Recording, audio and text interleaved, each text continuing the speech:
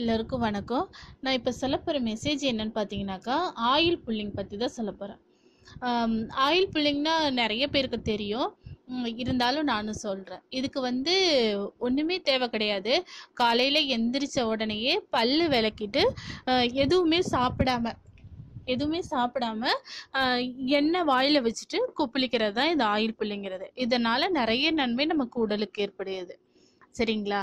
இப்போ நம்ம நல்லெண்ணெய் வச்சு கொப்பு நல்லெண்ணெய் இல்ல நல்லெண்ணெய் வச்சு தான் கொப்பளிக்கணும். நல்லெண்ணெய் இல்லாதவங்க தேங்காய் எண்ணெயும் வச்சு கொப்பளிக்கலாம். ஆனா நல்லெண்ணெய் ரொம்ப நல்லது. சுத்தமான நல்லெண்ணெயை வந்து பத்து மில்லி அளவு எடுத்துட்டு வாயில விட்டுக்கணும். வாயில வச்சுக்கிட்டு அதை வாய் முழுவதும் பழ எப்படி நம்ம தண்ணி கொப்பளிப்போம்? அதை மாதிரி கொப்பளிச்சு உலுக்கி வச்சுக்கணும். வெளியே துப்பக்கூடாது. அது மாதிரி ஒரு இருபத்தோரு நிமிஷம் வர வச்சுக்க உள்ள வைக்கணும். அப்படி நம்மளால வைக்க முடியாது இல்லையா? வாமிட் வர மாதிரி ஆயிடும். அட்லீஸ்ட் ஒரு seven or eight minutes ten minutes அது வாய்க்குள்ளேயே இருக்கணும்.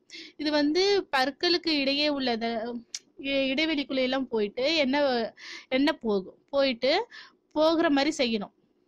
நல்லா கொப்பளிக்கிற மாதிரி செஞ்சாதான் அது போகும். ஒரு பத்து நிமிஷம் கழிச்சு ஒரு மாதிரி ஒரு பத்து நிமிஷம் ஒரு மாதிரி நுரைச்சி வெள்ளையா ஒரு மாதிரி வந்திருக்கும். நீர்த்து போகும். அப்போ அது வ- அப்போ வந்து நம்ம துப்பிடணும். சரிங்களா? துப்பிட்டு அதுக்கப்புறம் நம்ம வாய் கொப்பளிச்சிடலாம் இது நம்ம எப்படி செய்- எந்த டைம்ல செய்யணும்னாக்கா நம்ம காலையில எந்திரிச்சு தான் செய்யணும். அதிகாலை நேரம் தான் இதுக்கு கரெக்டான டைமு இதை வந்து நம்ம ஒரு வருஷம் வரைக்கும் தொடர்ந்து செஞ்சா நமக்கு ரொம்ப நல்லது. ஆ- ஆயுசு பூரா செஞ்சாலும் நல்லதுதான் கடைசிக்கு நம்ம ஒரு நைன் மந்த் வரைக்குமாவது செய்யணும். அப்புறம் இதோட நன்மைன்னு பாத்தீங்கன்னா நல்ல பல்லு பளிச்சுன்னு ஆயிடும். நீங்களே பாருங்க உங்களுக்கு ரிசல்ட் தெரியும். மஞ்சளான பல்லு உள்ளவங்க இதை செஞ்சு பாருங்களேன். கண்டிப்பா உங்களோட பல்லு ஒரு ஒரு டூ மந்த்ஸ் பேக்கே உங்களுக்கு கொஞ்சமாவது சேஞ்ச் ஆகுறது நல்லா தெரியும். ப- பற்கள் நல்லா வெள்ளையாகவும் திடமாகவும் ஆரோக்கியமா மாறிடும். அப்புறமேட்டு இந்த வாயில் உள்ள கரை கூட மாறிடும் அப்படின்னு சொல்லுவாங்க வாய் இது காலையில நம்ம ஆயில் புல்லிங் செஞ்சுட்டு வரனால வாய் துர்நாற்றமும் போகும். ஈரு இந்த ஈ பல்லெடுக்க இருக்க இருக்குல்ல இந்த எகிருன்னு சொல்லுவாங்கல்ல அந்த இடத்துல வந்து ரத்த கசிவு வந்து தடுக்கப்படும். அந்த ஈறு வந்து நல்ல ஆரோக்கியமாக இருக்கும் பல் கூச்சம் பல்வலிலாம் போயிடும். உடல்ல வந்து எனர்ஜி ஜாஸ்தி ஆகுமா?